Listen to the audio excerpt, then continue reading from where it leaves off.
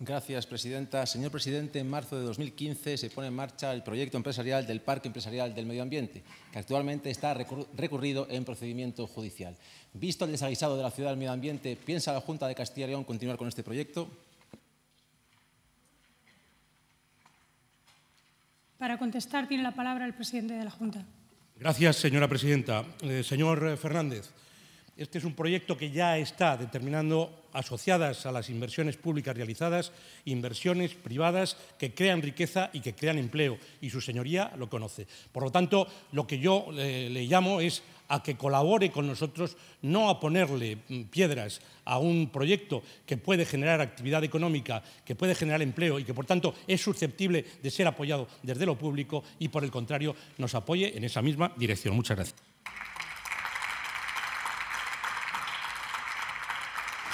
Para un turno de réplica, el señor Fernández Santos. Señor Herrera, estoy absolutamente alucinado. Le recomiendo que usted estudie más y se prepare mejor los temas porque la respuesta que me acaba de dar me parece infame. Usted espero que eh, estudie con detención el proyecto del Parque Empresarial del Medio Ambiente y verá que actualmente no hay ninguna empresa radicada en el mismo hay una planta de producción de flores que genera empleos, ¿verdad?, pero que está fuera de ese parque empresarial. Estudie un poco más. Pensé que usted iba a rectificar hoy su error. Viene aquí pintiparada una frase de Ramón y Cajal que decía que lo peor no es cometer un error, sino tratar de justificarlo en lugar de aprovecharlo para darse cuenta de la ligereza o de la ignorancia de alguno. La ignorancia que ha demostrado hoy supina.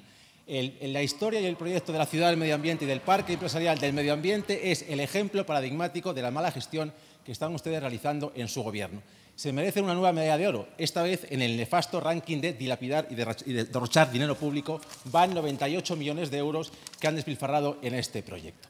Mire, todo esto empieza en el 2003. Usted se compromete a hacer un parque natural en Soria, en la provincia de Soria. En el 2006 se inician las obras de la ciudad del medio ambiente en suelo protegido no edificable. Le repito el dato porque es importante, en suelo protegido no edificable.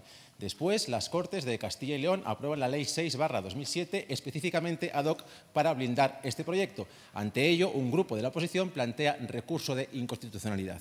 Bien, en 2012 se inician las obras de urbanización, en 2011 se construyen las cúpulas de la energía y en 2011 perdón, se establece la planta de biomasa. ¿Qué pasa, señor presidente? Pues que esas eh, obras de urbanización lo que proyectan es afectar muy negativamente a la nidificación de aves rapaces. En la zona se destruye el hábitat de varios anfibios en la zona, se cercenan cauces públicos y se destruyen árboles milenarios. Este es el antes y este es el después de su proyecto del medio ambiente. Y es que pareciera que su proyecto de la ciudad del medio ambiente, aparte de pretender un pelotazo urbanístico, también pretendía destruir y cercenar el medio ambiente de Soria. Por suerte ahí estaba ASDEN, la Asociación Soriana en Defensa y Estudio de la Naturaleza, que interpone demandas judiciales de las cuales derivan varias sentencias, todas contrarias a la Junta de Castilla y León. Reciben tres zascas judiciales. El primero de ellos por el Tribunal Superior de Justicia, que en 2013 anula la licencia de obra de las cúpulas de la energía. En el 2013, en diciembre, es el Tribunal Constitucional el que les propina otro bofetazo jurídico, declarando inconstitucional su Ley 6-2007, impulsada por usted. Pero no se vayan todavía, que aún hay más. En 2015, el Tribunal Superior de Justicia de Castilla y León establece que no se puede realizar ni una sola obra en las cúpulas de la energía. Tres varapalos judiciales, señor Herrera, y ante ello ni una asunción de responsabilidad por parte de ninguna persona, ni en la Junta de Castilla y León, ni en su gobierno autonómico. Pero alucinando, alucinando, la cosa todavía continúa. Y es que en marzo del 2015 ustedes se sacan de la manga un decreto para, eh, convertir la ciudad del medio ambiente en el parque empresarial del medio ambiente, para sortear de forma torticera las limitaciones jurídicas dimanadas de las sentencias que le acabo de relatar. Por suerte, ahí está otra vez ASDEN, que interpone una demanda demostrando que la sociedad civil organizada gana muchas batallas y actualmente el proyecto está a expensas de resolución judicial.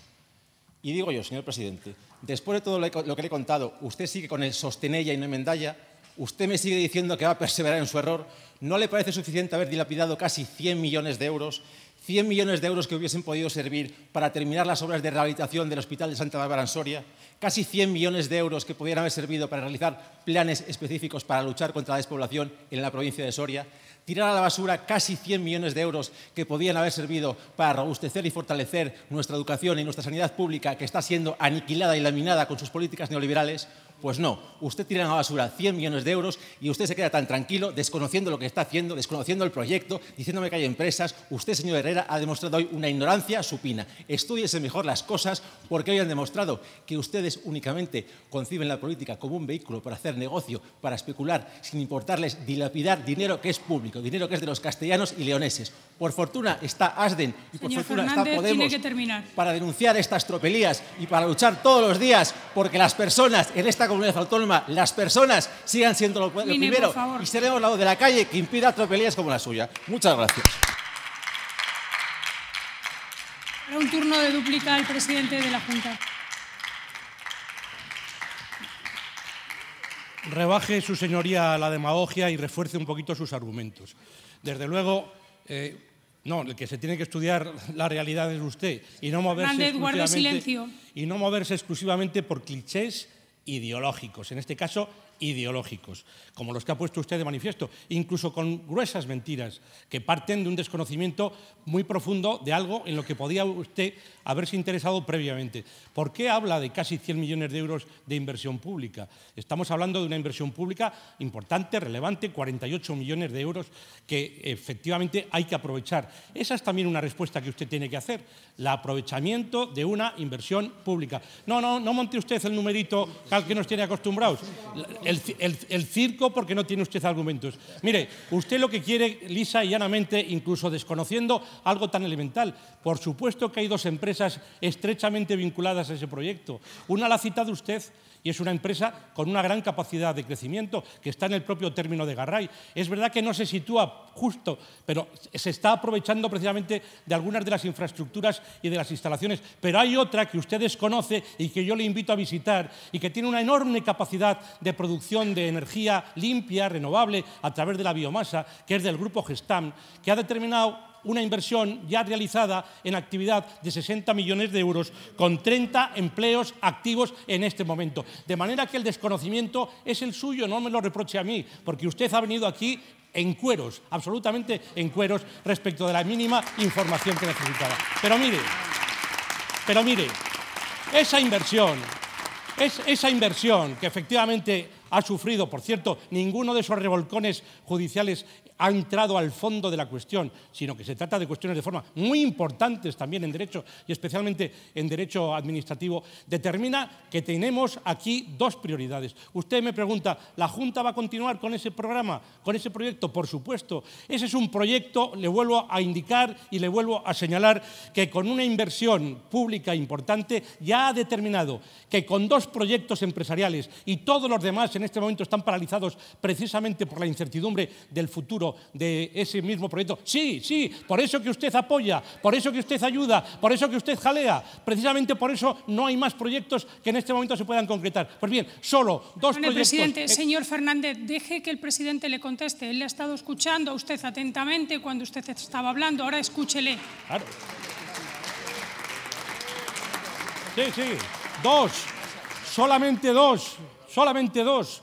Este que le he citado de Gestam y el otro proyecto que va a fabricar, que está fabricando ya el cultivo de rosas con otra inversión en curso de 50 millones de euros. Solamente estos dos se han traducido en casi 200 empleos. Pues lo que queremos es que eso sirva y que esa inversión pública se rentabilice y que esa inversión pública, que en este momento está circunscrita a utilización empresarial y empresas de alta calidad ecológica también, porque todo lo residencial se ha quitado del proyecto, tenga siga adelante. Pero no, usted lo que nos plantea justamente lo contrario. Abandonen esa inversión pública y desde luego hagan imposible la actividad de dos empresas ya instaladas que tienen una inversión que dobla la que eh, ha realizado la administración pública y que tiene ya 200 empleos. Eso es lo que usted nos está pidiendo hoy, que abandonemos 200 empleos y eso no lo vamos a hacer. Yo sé que usted es un parvení, un recién llegado a la sensibilidad en favor de Soria. Yo sé que usted es un alumno aventajado de aquel tuit que los sorianos y todos los castellanos y leoneses recordamos hace hace ahora un poquito más de un año del señor Pablo Iglesias,